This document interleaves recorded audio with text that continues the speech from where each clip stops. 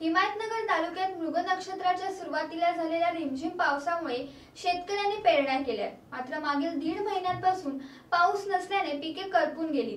दुबार पेरणी करून सुद्धा पाऊस झाला नसल्याने बळीराजा हवालदिल झाले.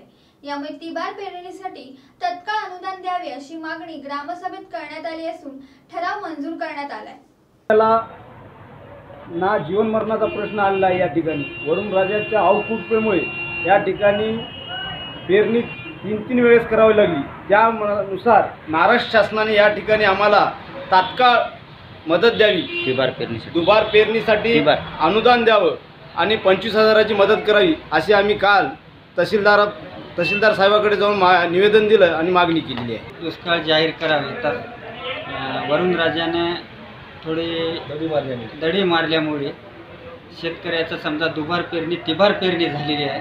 त्याच्यासाठी आम्ही तहसीलला काल तहसीलदार साहेबाला निवेदन दिलेलं आहे. त्या तहसीलदार साहेबाला निवेदन देऊ त्या निवेदनामध्ये आम्ही शेतकऱ्याला तात तात्काळ मदत करावा म्हणून एकरी पंचवीस हजार रुपयाची मदत द्यावं अशी आमची शेतकऱ्याची हे आहे इच्छा आहे. प्रतिनिधी जांबुवंत मिराशेसह आधार न्यूज मुंबई डेस्क. हा व्हिडिओ तुम्हाला आवडला असेल तर असे आणखी व्हिडिओ पाहण्यासाठी आधार न्यूजचे यूट्यूब चॅनल सबस्क्राईब करा.